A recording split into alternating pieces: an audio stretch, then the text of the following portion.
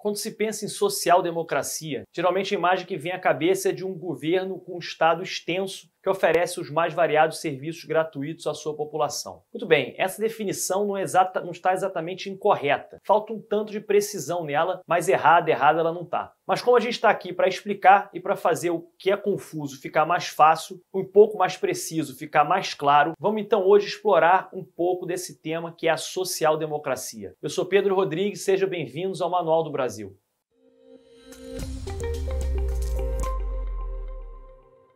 A social-democracia é uma filosofia política de centro-esquerda, que, ao longo da sua história, vem tentando reabilitar ora o capitalismo e ora o socialismo, e frequentemente tenta conciliar aspectos dos dois. Justamente por isso, ela dialoga com muitas outras propostas políticas. Na verdade, a gente pode falar isso sobre praticamente qualquer filosofia política ou ideologia relevante. Todas existem no espectro de grupos de interesse com quem dialogam ou contra quem se opõe. Assim, Trabalhistas podem se associar com, com socialistas, socialistas com anarco-comunistas, mas nenhum desses se envolveria com um membro de algum grupo da direita, como os conservadores. Porém, no caso da social-democracia, a relação com aliados e opositores é um pouco mais complexa. Você vai ver social-democratas aliados a liberais de centro, ou mesmo a grupos de centro-direita, como democratas cristãos, e é claro, você pode achar facilmente exemplos de associações ao longo da história entre sociais-democratas e grupos de esquerda com os socialistas democráticos e trabalhistas. No vídeo passado sobre os progressistas,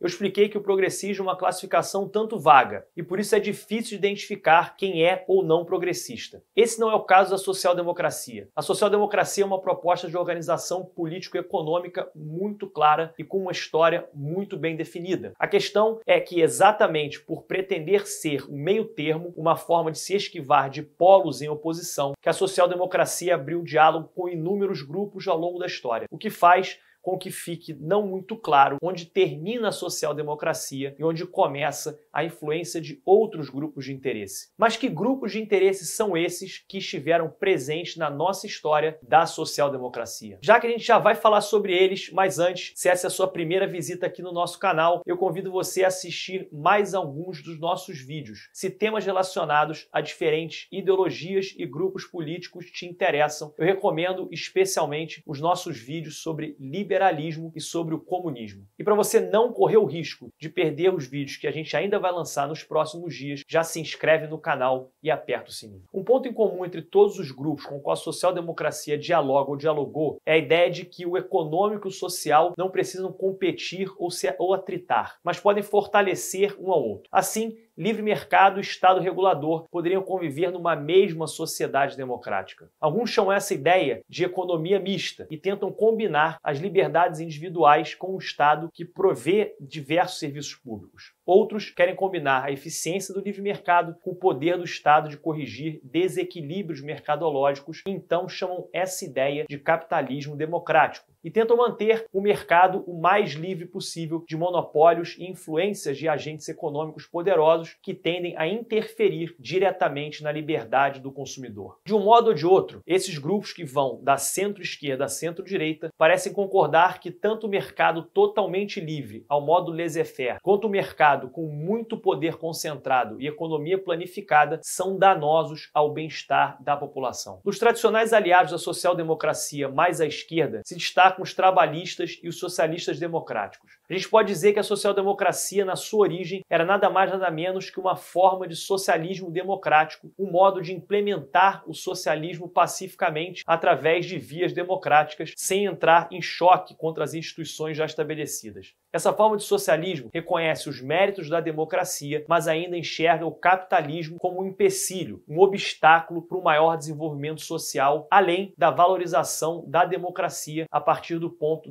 de vista socialista. Outro objetivo do socialismo democrático é a profunda alteração nas relações de trabalho. O ideal perseguido por eles é de uma sociedade onde, apesar de funcionar um mercado de livre concorrência entre diferentes empresas, a maioria dessas grandes empresas seriam públicas e os lucros e as decisões nelas seriam compartilhados entre todos os funcionários e não haveria concentração dos lucros ou de poder de decisão. Micro, pequenas e médias empresas poderiam se manter privadas. Apesar de em muitos países os socialistas democráticos e social-democracia serem tratados como sinônimo, existem algumas diferenças agudas entre os dois hoje em dia. Atualmente, a social-democracia, diferente do socialismo democrático, não visa a superação do capitalismo. Para eles, o capitalismo até pode vir a ser superado, mas esse não é o seu objetivo principal. Outra diferença é que na social-democracia o mercado deve ser bem mais livre do que na idealização socialista. Apesar de grandes empresas públicas serem comuns em países sociais democratas, há um bom número de empresas privadas também. E mesmo as empresas públicas atuam conforme as regras do mercado, por assim dizer, e não através de uma democracia interna a essas próprias empresas. A social-democracia descobriu que o livre mercado é de fato mais produtivo, então não há porquê de mudar completamente a dinâmica dentro das empresas. Porém, acreditam que deve sim haver intermediação do Estado nas relações de trabalho e relações trabalhistas. Já no caso do trabalhismo, a primeira diferença é que esse é um movimento sem uma fidelidade ideológica definida. Isso porque você pode chamar de trabalhismo qualquer organização que tenha por objetivo principal a defesa dos interesses de mais de uma classe trabalhadora e que não se limite à atuação sindical e que se faça presente na política. A social-democracia pode ter mudado muito ao longo, da, ao longo das décadas, mas desde sua origem até hoje é um movimento de centro-esquerda. Mas você pode achar trabalhistas de centro-esquerda e de direita, até trabalhistas antissocialistas, como é o caso do movimento Solidariedade na Polônia ou mesmo os primeiros trabalhistas aqui no Brasil. Em ambos os casos, apesar de não serem exatamente movimentos de direita, eram críticos ao socialismo e ao invés de terem se inspirado em obras de autores socialistas, se inspiraram primeiro na doutrina social da Igreja Católica.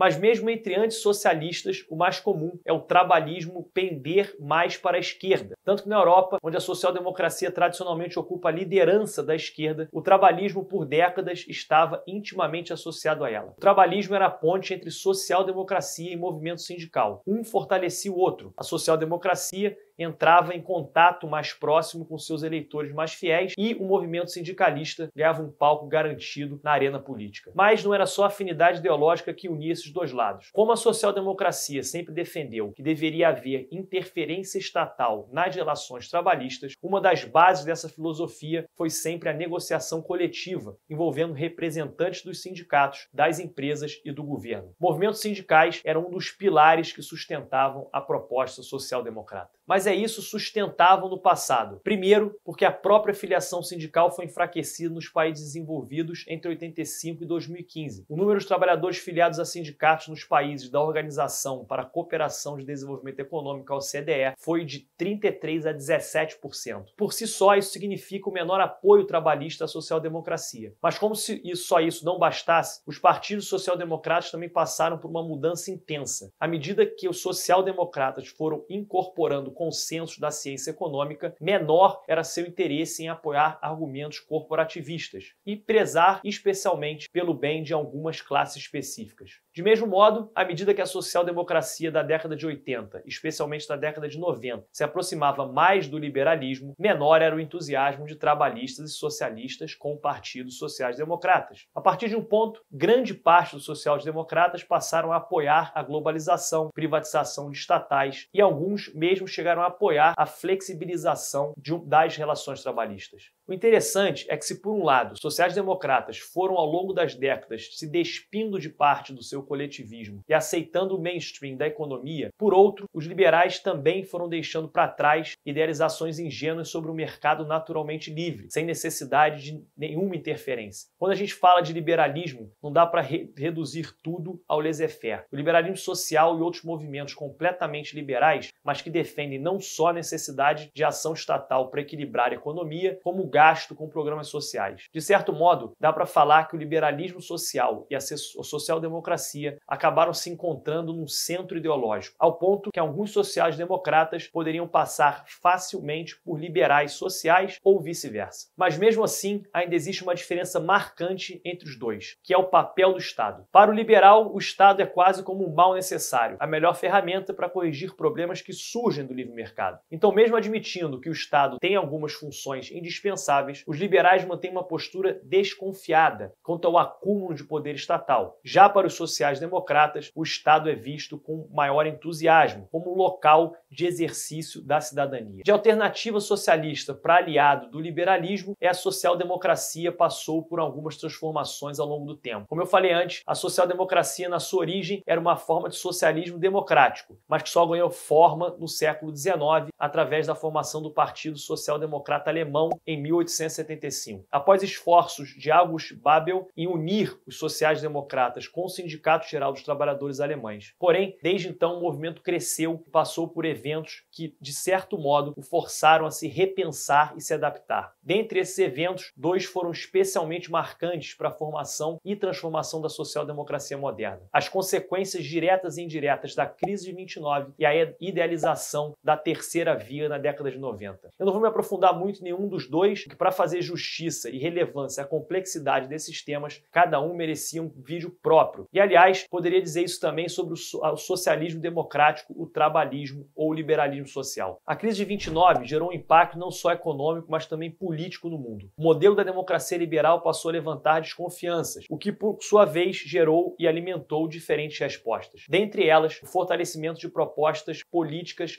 antidemocráticas como o nazifascismo e o stalinismo soviético. O primeiro serviu como principal antítese da social-democracia, aquilo que sociais-democratas deveriam lutar para evitar acontecer de novo, e o segundo, a experiência autoritária stalinista, serviu para que a social-democracia se afastasse completamente de qualquer forma de socialismo autoritário. Era aquilo que a social-democracia não poderia se transformar. Mas tão ou mais impactante para a história da social-democracia foram as respostas liberais à crise de 29. Em destaque, o keynesianismo e o New Deal americano. Bem resumidamente, o keynesianismo, formulado pelo economista inglês John Maynard Keynes, prega o um aumento de gasto governamental para se enfrentar recessões, além da necessidade de intervenção estatal para aliviar o desemprego e a inflação. Um pouco antes de Keynes estruturar sua teoria nos Estados Unidos na década de 30, o presidente Franklin Roosevelt promoveu o New Deal, que era basicamente uma extensa rede de programas e agências estatais que promoviam suporte social, especialmente para as parcelas mais frágeis